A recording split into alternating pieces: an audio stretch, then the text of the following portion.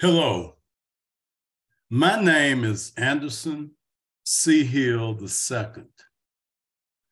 I am a graduate of the University of Florida, where I was the first minority to receive a law degree and an MBA in less than three years of study. Subsequent to my graduation, I was recruited as an urban fellow for the Central Intelligence Agency, Washington, D.C.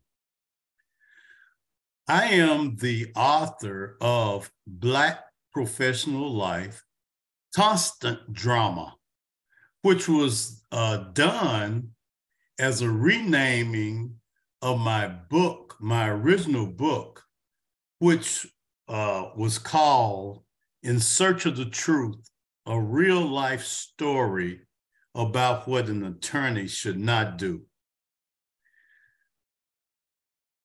This book uh, is more for academic study of ethics.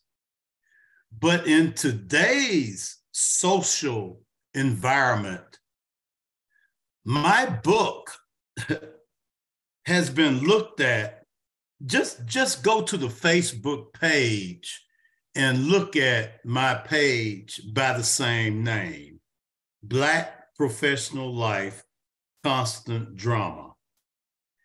Then you will see why uh, we shall engage in discussions regarding the uh, current climate uh, in the state of Florida, as well as the United States. Please look for further announcements and join me if you will. Thank you.